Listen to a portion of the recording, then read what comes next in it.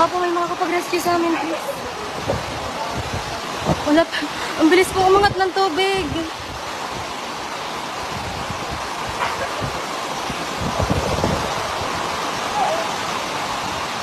Lubog na yung truck na.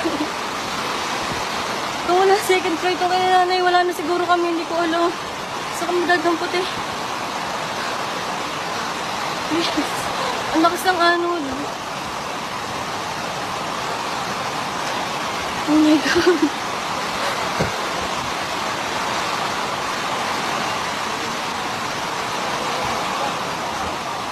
Sobrang lakas po tubig.